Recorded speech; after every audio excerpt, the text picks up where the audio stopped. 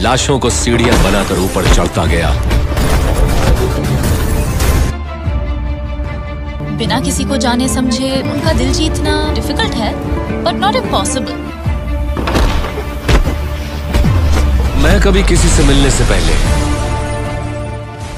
Hello दोस्तों, मैं हूँ प्रकाश विश्वकर्मा। स्वागत है आप सभी का बॉलीग्राड स्टूडियोज में। साहो टू की हमारी कहानी में साहो वाजी सिटी के अंडरवर्ल्ड में आए तूफ़ान और अमृता पर हुए लगातार अटैक से परेशान होकर खुद अंडरवर्ल्ड में ऑफिशियली कदम रखता है और चैलेंज करता है जो भी उसकी जगह लेना चाहे, वो सामने आए और उससे यह जंग जीत लेकिन अमृता जो कि एक पुलिस ऑफिसर है, वो साहू की इस बात से सहमत नहीं होती है। साहू डेस्परेटली कहता है, अमृता, मेरी बात समझो। अगर मैं ये कदम ना उठाता तो मेरे आसपास के लोग और तुम हमेशा खतरे में रहते। हाँ जैसे तुम्हारे माफिया बनने से तो मैं सेफ़ हो गई हूँ ना? तो साहू धीरे से कहता है, मोटी तो यही है। अमृता उसे गुस्से में घूरती है और कहती है, तुम समझ नहीं रहे हो। मेरी ड्यूटी है अंडरवर्ल्ड के लोगों को पकड़ना और अगर तुम जाकर उनके किंग बन जाओगे तो ऐसी कोई सिचुएशन आई जहाँ तुम्हें अरेस्ट करने की नौबत आई तो मैं कैसे क्या करूँगी? अमृता एक सांस में सारी बात कह देती है, जिसके साहू को भी चिंता है, लेकिन फिर भी एक स्माइल के साथ वो अमृता को कहता है ट्रस्ट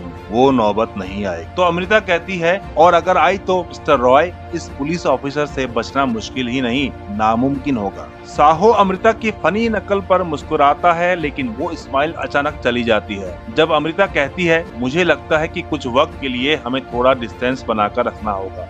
हम दोनों एक दूसरे को जानते हैं, लेकिन डिपार्टमेंट इस बात को नहीं मानेगा कि एक ऑफिसर और माफिया साथ हैं। और दोनों इस केस में साथ में इन्वॉल्व नहीं है। अमृता और साहू दोनों अलग अलग रास्ते पकड़ लेते हैं। साहू डेविड की हेल्प से सारे छोटे मोटे स्मगलर्स की लिस्ट निकलवाता है और सबको एक फार्म हाउस पर बुलाता है। साहू और डेविड दोनों वहाँ पहुँचते हैं। लेकिन तकरीबन 25 स्मगलर्स में से सिर्फ़ पाँच या छह ही वहाँ मौजूद होते हैं। साहू उनसे ही पूछताछ करता है, लेकिन उसे वही सेम जवाब मिलता है जो हेड स्मगलर रॉकी ने दिए थे। साहू उन सबको वार्निंग देता है कि अगर उन्होंने ड्रग्स इलीगली स्मगल किए, वो भी किसी और के कहने पर तो साहू उन्हें जीने लायक नहीं छोड़ेगा। फिर वो सारे डर जाते हैं और वहाँ से चले जाते हैं। लेकिन तभी वहाँ पर बहुत सारे मास्क पहने हुए लोग बाइक्स पर शोर मचाते हुए आते हैं। उनके हाथों में चेन बैट्स और बेसबॉल बैट लेकर आते हैं और इस बीच अचानक कोई साहू पर अटैक करता है। साहू और डेविड उन सबसे लड़ते हैं। कहीं से चाकू, कहीं से बैट तो कहीं से चेन से अटैक होता है। ऊपर से कई गुंडे उन पर एक साथ अटैक कर रहे थे और तब अचानक साहू को कमर की एक साइड में बड़ा तेज दर्द होता है। जैसे किसी ने चाकू मारा हो। साहू नीचे देखता है कि कोई अब उस चाकू को ट्विस्ट कर रहा साहू दर्द में चिल्लाता है और उस हाथ को पकड़कर दूर करने की कोशिश करता है और जब उसकी आँखें अटैकर से मिलती है तो वो पहचान जाता है कि वो कौन है। साहू मुश्किल से उसे धक्का देकर पीछे हटाता है और कहता है, सामने आ ही गया है तो सामना भी कर ले।